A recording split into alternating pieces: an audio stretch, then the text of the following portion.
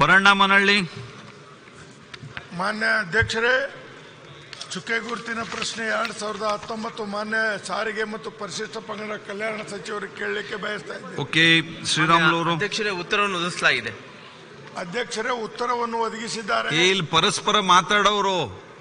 ಪರಸ್ಪರ ಮಾತನಾಡೋರು ಸ್ವಲ್ಪ ಸಣ್ಣಗಾರು ಮಾತಾಡಿ ಇಲ್ಲಾಂದ್ರೆ ಹೊರಗಾರು ಹೋಗಿ ಮಾತನಾಡಿ ಪ್ರಶ್ನೋತ್ತರ ನಡೀತಾ ಇದೆ ಇಲ್ಲಿ ಕಲಾಪಕ್ಕೆ ತೊಂದರೆ ಆಗತ್ತೆ.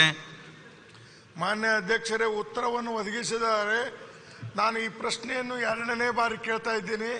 ಜೊತೆಗೆ ನಮ್ಮ ಬಸಾಪಟ್ಟಣ ಗ್ರಾಮ ಗ್ರಾಮ ಪಂಚಾಯತಿ ದೊಡ್ಡ ಪಂಚಾಯತಿ ಆಗಿದ್ದು, ಕೇವಲ ಅರ್ಧ ಭಾಗದಲ್ಲಿ, ಅಂದರೆ ಅರ್ಧ ಕಟ್ಟಡ ಮುಕ್ತಾಯವಾಗಿದೆ. ಆದರೆ ಉಳಿದಕ್ಕೆ ಈಗಾಗಲೇ ಎರಡನೇ ಹಂತದಲ್ಲಿ ಅದು ಕಾಮಗಾರಿಗೆ ಅಲ್ಪಾವಧಿ ಟೆಂಡರ್ನಲ್ಲಿ ಕರೀಲಿಕ್ಕೆ ಹೇಳಿದ್ದಾರೆ. ಆದಷ್ಟು ಬೇಗನೆ ಅದಕ್ಕೆ ನಿರ್ದೇಶನ ಕೊಡೋದ್ರ ಮುಖಾಂತರ ಬೇಗನೆ ಆ ಕಾಮಗಾರಿಯನ್ನು ಮುಗಿಸ್ಬೇಕನ್ನುವಂಥ ಮನವಿಯನ್ನು ತಮ್ಮ ಮೂಲಕ ಮಾನ್ಯ ಸಚಿವರಲ್ಲಿ ಸಚಿವರು.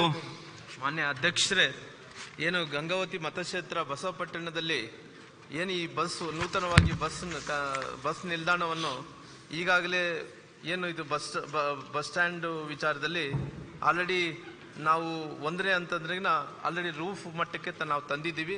ಎರಡನೇ ಹಂತದ ಕಾಮಗಾರಿಗಳು ಅಂದರೆ ಇನ್ನು ಸುಮಾರಾಗಿ ನಲವತ್ತ್ಮೂರು ಲಕ್ಷ ರೂಪಾಯಿ ವೆಚ್ಚದಲ್ಲಿ ಕಾಮಗಾರಿ ಆಗಬೇಕಾಗಿದೆ. ಆಲ್ರೆಡಿ ಟೆಂಡರ್ ಪ್ರಕ್ರಿಯೆ ಪೂರ್ಣಗೊಂಡಿದೆ.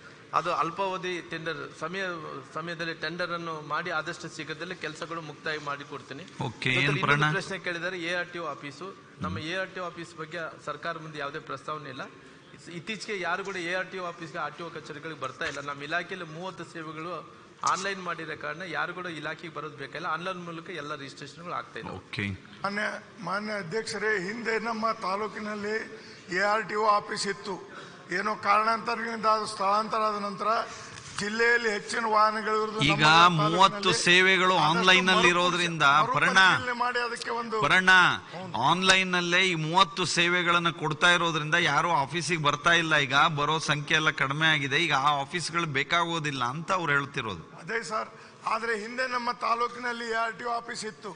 ಅದೇ ವಾಹನ ಸಂಖ್ಯೆಗಳು ಸಹಿತ ಜಿಲ್ಲೆಯಲ್ಲಿ ಅತಿ ವಾಹನ ಸಂಖ್ಯೆ ವಾಹನಗಳು ಇರುವುದು ನಮ್ಮ ತಾಲೂಕಿನಲ್ಲಿ ಆಯ್ತು. ಮರುಪರಿಶೀಲನೆ ಮಾಡಿ ಆದಷ್ಟು ಬೇಗನೆ ನೋಡಿ. ನಾನು ಹಂಗೆ ಕೇಳ್ತಾ ಇದ್ದೆ. ನನಗೆ ಹಿಂಗೆ ಹೇಳಿ ಸಮಾಧಾನ ಮಾಡಿದ್ದಾರೆ ಅವರು. ಹೇಳಿ ರಾಮುಲ್ ಅವರು ಹೇಳಿ. ಅಧ್ಯಕ್ಷರೇ, ಇದ್ರ ಬಗ್ಗೆ ಆ, ಮತ್ತೆ ಪರಿಶೀಲನೆ ಮಾಡಿ ಏನ್ ಆಗ್ಬೇಕಾಯ್ತದ ನೋಡಿ ಮಾಡಿಕೊಡ್ತೀವಿ ನಮ್ಮ ಊರಲ್ಲೂ ಬೇಕಲ್ಲ. ಓಕೆ